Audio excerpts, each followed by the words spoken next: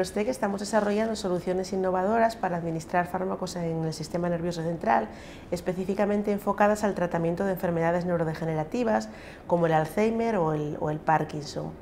Eh, desde que la Fundación en el año 2020 hemos estado llevando a cabo ensayos preclínicos en modelos animales y en los próximos meses eh, nos planteamos iniciar las primeras fases de investigación clínica. En este sentido, creemos que Tecnalia nos puede aportar su conocimiento y su experiencia para llevar a cabo varias de las fases que se nos avecinan en los próximos meses y estamos muy contentos de poder contar con su colaboración.